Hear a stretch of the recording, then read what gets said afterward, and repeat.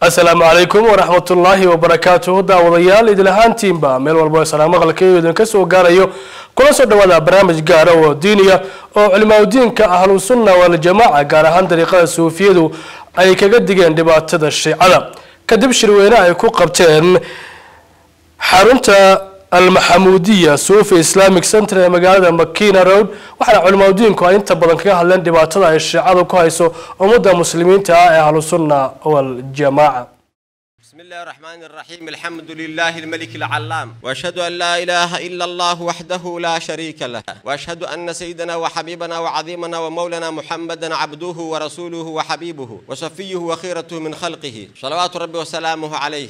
سادة الكرام وإخوة الأعزاء شركا أه shir culammada ahlusunna waljamaaca ee waddanka kenya soomaalida ku dhaqan iyo shacabka reer kenya dhammaan ay kasoo qayb galeen qaybo ka mid ah soomaaliya culimmadeeda qaybo etoobiya culimmadeeda qaybo ka mid ay ka soo qayb galeen ay joogaan. Shirkaas gogosha waxaa fidiyey culimmadii makiina ee ahlusunna waljamaaca ayaa gogosha fidiyey culimmadana markaas iclaamka iyo yeritaanka u bixiyey. Waxaana mar kastaba waajibka culummada islaamka meel kastoo joogaan diinta inay difaacaan inay nashriyaan ummadda inay xaqa iyo wanaagga u sheegaan munkarka iyo xumaantana ay ka reebaan. Marka annagoo alamru bilmacruuf wanahyi can ilmunkar ee ilaahay u nafara subxaana wa tacaala annagoo amarka ilaahay qaadanayno subxaana wa tacaala amarka nebigana qaadanayno calayhi salaatu wasalaam ayaan shirkan culammada islaamka ee ahlusunna waljamaaca ugu yeeraray oo ah hogaankii ummadda indhihii ummadda. Waxaan leenahay dhammaan mashaaikhdii reer makiina anagoo ku hadlaya lisaankoodii iyo codkoodii ku hadlaya. Waxaan leenahay insha allah taala ku soo dhawaada shirkii waa noo furan yahay. Asalaamu calaykum waraxmat ullahi wabarakaatu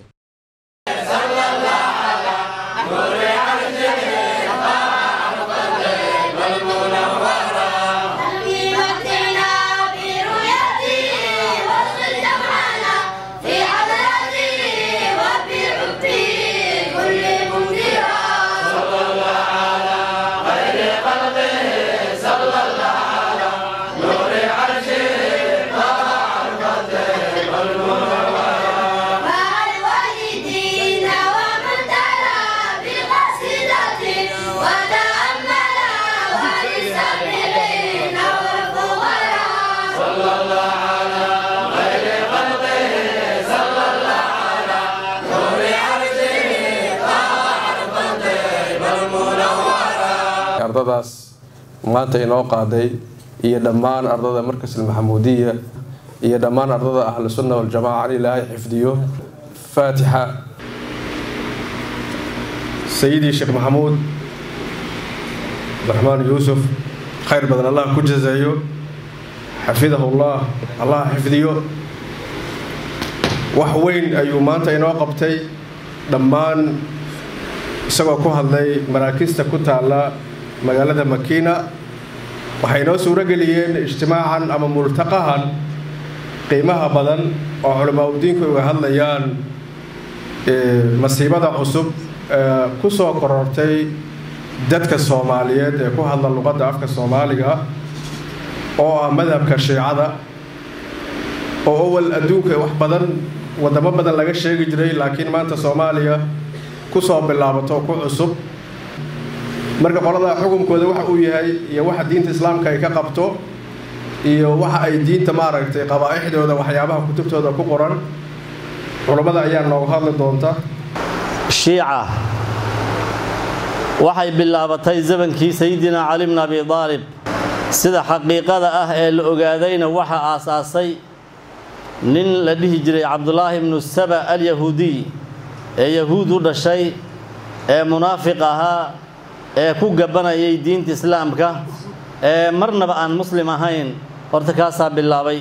Waxay yidhaahdeen qur'aankani maxfuud ma aha ma aha ma dhowrsoona waa la bedelay qaar abuubakar baa bedelay qaar cumar baa bedelay qaar cuhmaan baa bedelay qur'aankii waa bedelan yahay. Tuugadii baa hallaysay saxaabadii baa hallaysay waxbaa ka maqan bay leeyihiin. Markay fasirayaan in allaha yaamuru bilcadli walixsaani wa iitaa'i di lqurba wayanhaa can ilfaxshaa'i walmunkari wayanhaa can ilfaxshaa'i waxay ku fasirayaan kuwa la yidhaahdo raafidada waxay ku fasirayaan wayanhaa ilaahay wuu idinka reebay can ilfaxshaa'i abubakar walmunkari cumar walbagyi cuhmaan saasay ku fasirayaan aalu beytka laftiisa ceebay ka sameeyeen waan jecelnahay iyo kadaa ay leeyihiin waa been ma jecla jacayl ma aha. Jacaylka ay aalu beytka u sheeganayaan. Waa nebiyullaahi ciisa jacaylkii ay nasaar u sheegatay ama yahuud ay u sheegatay oo kale wey. Ya nasaara waxay tidhi nebi ciise waan jecelnahay. Markii dambe waxay yidhaahdeen ibnullahi ilaahay wiilkiisa wey. Markii dambe waxay yidhaahdeen waaba ilaahay laftiisa yahuud waxay tidhi cusayr waan jecelnahay. Cusayr waxay gaarsiiyeen ibnullah ilaahay wiilkiisa weeyay dheheen nin saa u fiican ilaahay unbaaba dhali kara qof kaloo dhali kara ma. Ya aalu beytka jacaylka ay u sheeganayaan waa noocaasi weeye been weeye.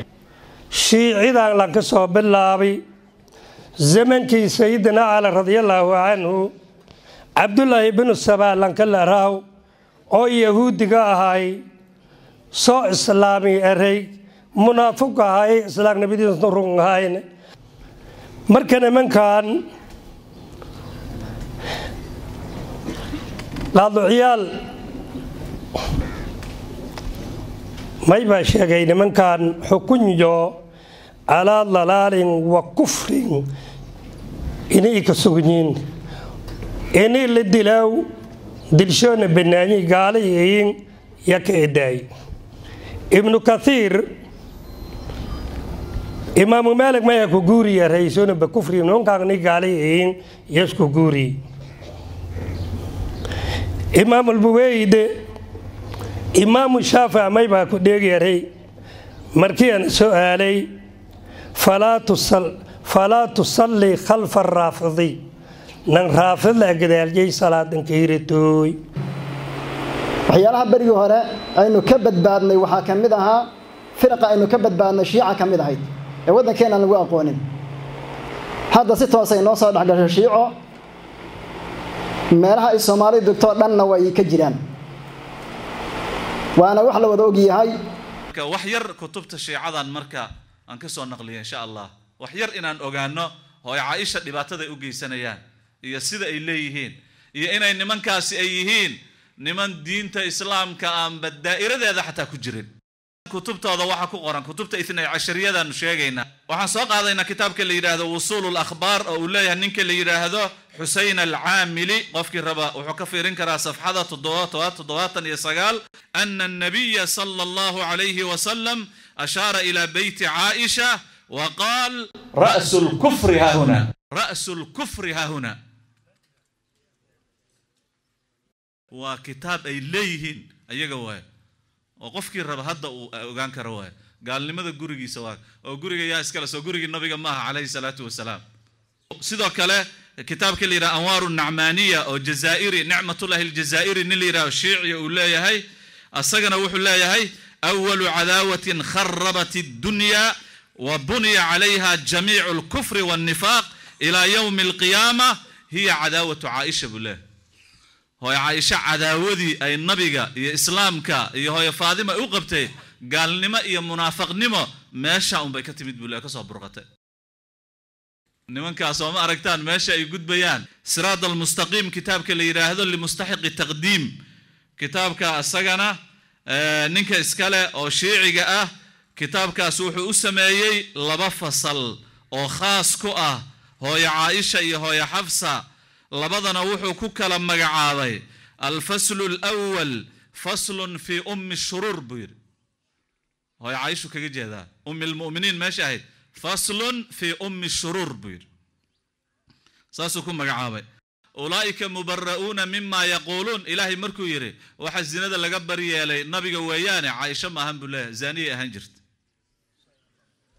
saasuu leeyahay marka waxaa waxaan sii wadwadi karna maba ahan in badan baanu ka soo guurinay imaamka ibnu kathiir wuxuu ku yidhi tafsiirka ibnu kathiir ajmaca alculamaau raximahum allahu tacaala qaatiba cala ana man sabaha bacda hada aw ramaaha qofkii wax ku gama ama wax ka sheega ama caaya hooy caaisho bacda haada intaan la soo sheegay qur'aankan iyo waxyigan iyo axaadiistan iyo adilada la soo sheegay bacdigeed qofkii afxumo u laabta oo waxaa sheega sida raafidadoo kale culummada waxay ku ijmaaceen annahu kaafir liannahu mucaanidun lilqur'aan. Waa gaal qur'aanka ilaahay mucaanid ah oo diinta ilaahay ka hor yimid oo gaalnimadiisa laysku waafaqsan yahay sayidina alxasan waxay leeyihiin faraciisa imaamyada ma aha. Wax ay yihiinna ma laha. Waana fasaqo mana la cuskan karo. Sayid xasan wuxuu ka farcamay ashraaf bay jecel yihiin baa la leeyahay. Oo xasan iyo xuseen soo labadii awlaadoo nabiga maaha calayhi salaatu wasalaam xuseen awlaaddiisa inta la qaatay xasan maxaa loo tuuray?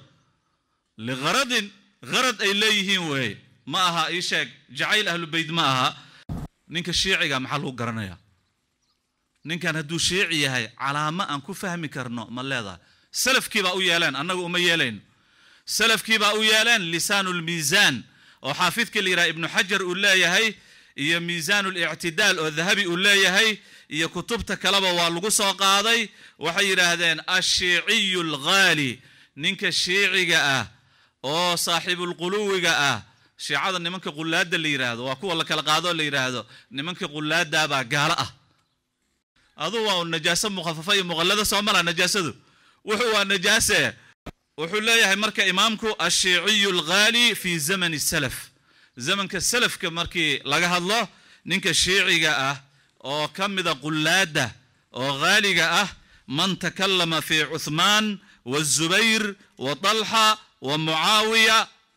Qofkii sayd mucaawiya iyo sayd cuthmaan iyo sayd zubayr iyo sayd talxa iyo dadkii maaragtay xuruubta ay dhex martay qofka ka hadhadlaya oo dhex gelaya oo saxaabada qaar duraya qaar maaragtay ammaanaya wax sheegaya shiiciga qullaada ka mida kaawe lisaanu miisaalkaa dhigaya. Annagana waxaa laga yaabaa haddaan aragna nin wax sheegaya inaan idhaahno bal ninkan waxbuu sheegayaa xoogaa aan fiirino oo nin haddaad aragto asxaabta nabiga wax yar soo qaaday haddaad aragto shiici wey laguma shakinayo. Bal culimmadii salafka ahaa waxay dhihi jireen waa haali shiici yahay. Calaamada lagu yaqaano waxaa ka mid ah haddii shiicada wax laga sheego. Shiico haddii wax laga sheego. Ama mabaadi'dooda haddii laga sheego. Hadduu isgelayo uu cararayo uusan maaragta haddii ka dhowrsanayo dhibsanayo. Hada min calaamaati tashayuc. Waa calaamadaha lagu garanayo qofkaasi inuu shiici yahay oo shiicada u raacsan yahay. Calaamadaha lagu garanayo waay. Markaan ku soo dhowaano xukunka cidda caysa saxaabada waxaa ilaahay subxaanahu wa tacaala iyo rasuulkiisa iyo a'immada ay ka yidhaahdeen fadiilatu shaykh addaaciyat alkabiir sheekh xuseen sheekh tayib almudaris falyatafadal mashkuura. Waxaad ogaataan shicaarka weyn ee shiicadu leedahay inay tahay saxaabada rasuulka oo la lacnada shicaarkooda koobaad. Waa shicaar waxay ka dhigteen weeyaan dadkii oo warahatu nebiyi ahaa xamalatu shareeco ahaa dadkaasay lacnadayaan. Iska dhaaf asxaabta rasuulka ee dadka muslimiinta ee caadiga in la caayo diintu ma ogolo saxaabada rasuulka iska daa.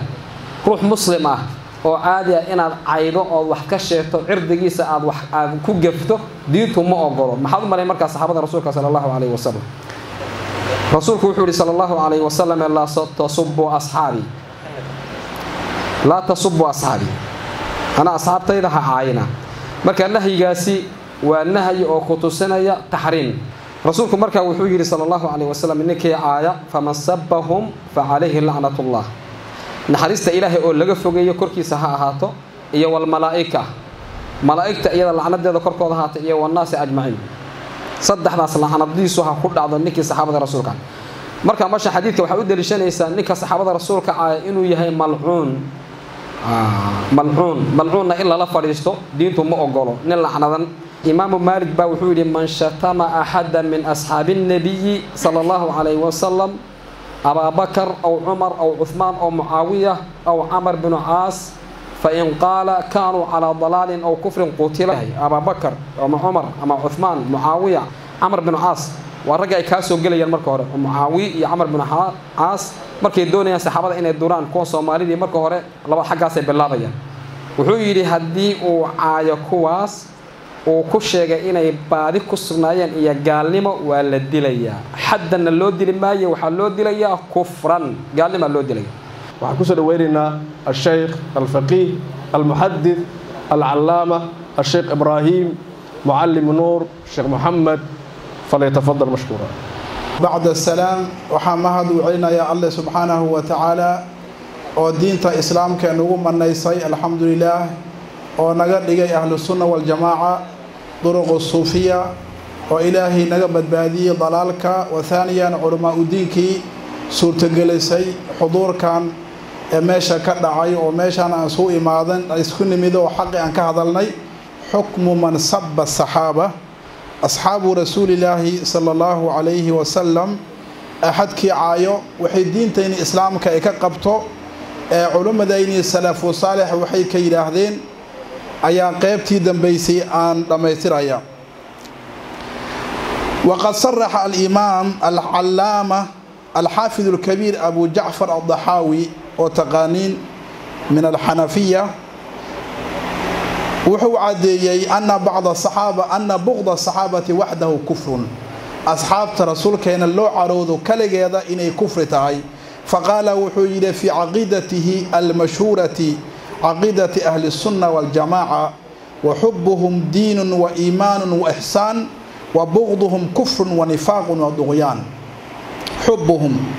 أصحابك رسولك الله جعلكودا دين ودين وإيمان وإيمان وإحسان إحسان وي. وبغضهم نعيبكودا كفر وقالنمو ونفاق ونافقنمو وطغيان حد ولا قبح ولا ومن أئمة سلف الصالح aimatu salafi saalix aladiina saraxuu caddeeyeen waqadacuu kufra man saba asaxaaba asxaabta axadkii caayo ama ciddii caayso inay gaal tahay gooyey waxaa ka mid eh radia allahu canhum alimaam almuxadis shaykhu lislaami bishri ibn alxaaris alxaafi xaysu qaal man shatama asxaaba rasuuli illaahi sala allahu calayhi wasalam wuxuu yidhi axadkii caayo rasuulka alle asxaabtiisa fahuwa kaafirun waa gaal wain saama wasallaa wazacama annahu min almuslimiin haba soomo ha dukudo ha sheegto inuu muslimiinta ka mid yahay waa gaal. Alimaamu alawsaaci alimaamu kabiir waa la yaqaanaa wuxuu leeyahay man shatama abaa bakrin asidiiq abaabakar asidiiq axadkii caayo faqad irtada can diinihi. Diinkiisa waa ka ridooway waa gaaloobay. Wa abaaxa damahu dhiiggiisina waa baneeyey waxaa ka mid eh dadkii caddeeyeen sabu saxaaba asxaabta rasuulka alle caaydiisa inay gaalnimo tahay alimaam almuxadis sayid alxufaadi abu zurca araazi waxaa ka soo guuriyey alxaafid abubakr alkhadiib albaqdaadi bisanadihi ila alxaafid abu zurca araazi annahu qaala wuxuu yidhi abu zurca idaa ra'ayta rajulan yantaqisu axada min asxaabi rasuuli illaahi sala allahu calayhi wasalam haddii aad aragtid axad nusqaaminayo oo hoos u dhigayo nin haddaad aragtid oo hoos u dhigayo axad asxaabta rasuulka alla ka mid eh faclam annahu zindiiq. Inuu zindiiq yahay zindiiq waxaa la yidhaahdaa kan gaalnimada ay u qarsoon tahay ee islaamnimadii bannaan ka alxaafid abubakar alkhalaal waxa uu warinayaa fi sunnati kitaabkii sunna la yidhaahdo bisanadihi ilaa muusa ibnu haaruun ibn ziyaad annahu qaala wuxuu yidhi samictu lfiryaabiya firyaab ayaa maqlay. Firyaabi waa alimaam alxaafid sheekhu lislaami abu cabdillaahi muxamed ibnu yuusuf adibiyu alfiryaabiyu min mashaa'ikh albukhaari wa axmed imaamu lbukhaari imaamu axmed mashaa'ikhdooda waaweyn ayuu ka mid ahaa. Wa rajulun yas'aluhu nina uu su'aalayo markuu maqlayo ninkaan asiga eh wa rajulun yas'aluhu can man shatama abaa bakrin. Wuxuu maqlay nin oo su'aalaya imaamka weyn abubakar axadkii caayo qaala kaafirun waa gaal buu yidhi. Qaala wuxuu yidhi fa yusallaa calayhi ma lagu dukanaa haddii uu dhinto? Qaala laa mayuu yidhi laguma dukunayo. Wasa'altuhu waxaan su'aalay kayfa yusnacu bihi? Wahuwa yaquulu laa ilaaha ila allah. Laa ilaaha ila allahu ayuu leeyahay see lagu sancaynaa qaala wuxuu yidhi laa tamasuuhu biaydiikum gacmihiina ha ku taabanina gacmihiina ka ilaashada irfacuuhu bilkhashabi qori ku qaada kor ugu qaada xataa tuwaaruhu fii xufrati ilaa godka aad ku asurtaan jirkiina ka ilaaliya inaad taabata jirkiisa uu taabto marka waxaan ogaanaynaa nimankan rawaafisha la yidhaahdo iyo wixii jidhkooda qaadaybo annaga magaca inay wataan dan ma ahan axad kasta oo saxaabada wax ka sheegto in nabiga alle ay dhibeen. Nabiga oo la dhibina ay gaalnimo tahay. Alimaamu taqiydiin subki shaaficiyi wuxuu jasmiyey raximahu llahu tacaala fii fataawiihi biqatli man saba saxaabata calanan. Asxaabta kii caayo si calan ahe muuqato u caayo in la dilayo faqaala wuxuu yidhi limaa fiihi wixii ku sugan min iidaa'in lilnabiyi sala allahu calayhi wasalam. Dhibitaan oo nabiga alla la dhibaa ku sugan wa iclaa'i lbidcati wa ahliha. Bidcda kor loo qaado iyo ahalkeeda ku sugan saa daraaddeeda ayaa loo dilayaa buuri marka waqad nasa alimaam abulxasan wuxuu caddeeyey cali ibnu suldaan almacruuf bimulla cali lqaari fi kitaabihi shamu lcawaaridi fi dami rawaafil shamu lcawaarid fi dami rawaafil kitaab la yidhaahdo wuxuu ku caddeeyey calaa ana man saba saxaabata axadkii saxaabada caayo kaafirun gaal inuu yahay. Gaal yahay. Bidaliili kitaabi wasunna kitaabka i sunnadana caddaynayaan. Wa saraxa aydan waxaa kale uu caddeeyey sheekha mulla cali lqaari min kitaabihi lmadkuur biqatli dalika saabi ka caayda sameeyey in la dilayo xaysu qaala markuu yidhay fa saabu kii caayay lisaxaabati caayay min adaa'ifati alkhaarijati waraafidati raafidada iyo khaarijida khawaarijta ayaa khaariji khaarijida iyo raafidada ciddii caayso asxaabta rasuulkeena in la dilaayo ayuu caddeeyey. Imaam cabdulqaahir albaqdaadi kitaabkiisa alfarqu bayna firaq safxad shan boqol iyo waxa weeye saddexda ilaa shan boqol iyo waxa lix laga gaaro hadalka isagoo wuxuu ku soo guurinaya wuxuu yidhi wamaa ra'aynaa wamaa samicnaa binawcin min alkufr ilaa wajadnaa shucbatan minhu fii madhabi rawaafid buu yidhi. Maanaan arag buu yidhi mana anaan maqal nooc ka mida noocyaasha kufriga iyo islaamka looga baxo mana anaan arag. Wuxuu yidhi ilaa minhu ilaa wuxuu yidhi haddii jiraba ilaa wajadnaa shucbatan minhu fii madhabi rawaafid buu yidhi. Waxaan helnay buu yidhi qayb ka mida gaalnimadii baan waxaan ka helnay buu yidhi madhabka rawaafida aanu ka helnay buu yidhi. Madhabka rawaafida ayaanu ka helnay buu yidhi. Nimanka ayaga marka waxaad arkaysaan oo ayaga ah oo nooca ayaga aqaba xukumka ay ka qaateen saxaabada culammada islaamku inuu yahay inay yihiin ridda. Inay yihiin dad waxa aan muslimiin ahayn. Xurmatu islaamna aan lahayn wey haba yaraatee aan lahayn. Waxaa marka la doonaya lala rabaa ayadoo in sidaa horta ayadaa loo ogaado ma ahan dad muslimiin ahood adiidee waxa weeye layn iyo dil hadday noqoto hadda taas waxay ku xidhan tahay shawkay ku xidhan tahay gooni ah. Assaakitu can ilxaq shaydaanun akhrasu. Dadkeennii waxaad u batay. Wax yar oo maanta dhaqdhaqaaqaya waa yaryihiin xaqii ayagoo arkaya oo korkooda lagu tumanaya ay aamusayeen makhluuq inaan adeecna oo ama qabiil aan ku adeecna aan ku xushmayna ama aan maaragtay qaraabanimo kale ku xushmayna ama lacag ahna si aan ku xushmayna makhluuq oo ilaahay daacadiisii adeecidii ilaahay aan ka baxno oo maaragtay bacday nala weynaato taa iida maaragtay mudda dulligii ina badiyo meeshaa la dhigti waayo intii yidhahdna shiica rabto inay israacsato shiica inaynan muslim ahaynna halkanaa caawa laga caddeeyey oo diinta islaamka aynan ku sugnayn soomaalidu waxay tiraa rag aamusay riya aamusay reerkoodii way gabeen. Ahlu sunna ma anfacayso sida hadda aan ku jirno. Waxaa loo socdaa awlaadeenna waayo iyo jiilasha dambe. Waxaan haysanaa culimo fiican oo wacyi leh oo duruufaha xaaliga ee jira la socda oo ahlu turuq ah. Marka madaxdeenna intaan la tashanno ahlu sunna waljamaaca hurdada ha ka tooso. Marka ahlu sunna waljamaaca innagoon go'aan gaarin yaynaan kala tegin. Culimmadu gaar ha u baxdo yaa u maqan dadkii cid u maqan ma leh. Marka waxaan idinkula dardaarmi lahaa innagoon tashani yaynaan kala tegin. Wabilaahi towfiiq wasalaamu calaykum waraxmatullah alxamdu lilaahi rabbi alcaalamiin wsalaatu wasalaamu calaa ashrafi almursaliin sayidina muxamedin wacalaa aalihi wa saxbihi ajmaciin. Ujeeddo war culummada ahlusunna waljamaaca ee geeska afrika ayaa shir looga hadlayo khatarta iyo dhibaatada kooxda shiicada ah ku qabatay magaalada makinarod ee gobol xeebeedka dalka kenya. Culimmada oo ka koobnaa ahlubeytka rasuulka calayhi salaatu wasalaam mudarisiinta iyo shiiqudariiqaha dalalka geeska afrika waxay ka kala yimaadeen deegaanada kala duwan ee dalka kenya sida nairobi gaarisa wajiya mandera tanariva costi iyo xeryaha dhadhaab iyo kaakuma iyo sidoo kale dalalka ethoobiya soomaaliya iyo dalalka dalal kaleba deegaankan geeska afrika oo awalba la ildarnaa fikirka xagjiirnimada ah ee khawaarijta ee aan dal dad iyo diin midnaba hambaynayn ayaa haatan khatar hor leh kaga timid kooxda shiicada taasoo laga yaabo in dadka soomaaliyeed qaarkood ay ku kadsoomaan haddii aysan culummadu si weyn oo waafiya u caddayn waxa diinta islaamku ka qabto shiicada iyo caqiidadooda.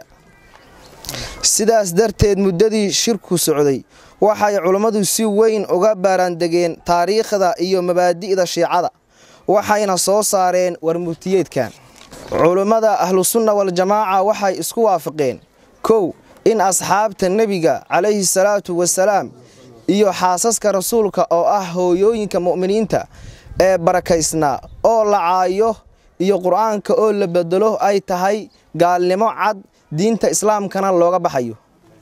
Lambar labo fikirkaas gaalnimada ah waxaa hadda geeska afrika inay ku faafiyaan bilaabay shiicada waana in la iska ilaaliyaa lambar saddex in shiicada fikirkaas xun iyo kuwa ka sii daranba wada. Dadaal dheeraad ah lagu bixiyo sidii shacabka soomaaliyeed looga badbaadin lahaa. Lambar afar in si wada jir ah looga hortago bidcooyinka shiicada iyo wahaabiyada oo labaduba khatar ku ah dalka diinta iyo dadka islaamka ahba. Lambar shan in culummada mudarisiinta mucalimiinta iyo mashaayikhda hogaamiya masaajidda mowlacyada iyo xertooduba ay meel kasta oo ay joogaanba ummadda oga digaan khatarta ay shiicadu hadda faafinayso taas oo care ilaahay iimaan la'aan iyo adduun iyo aakhira seeg dadka ku ridaysa